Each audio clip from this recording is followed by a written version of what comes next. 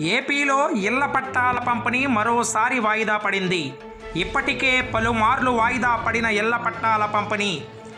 Court కేసులు corona ప్రభావంతో వాయిదా పడింది.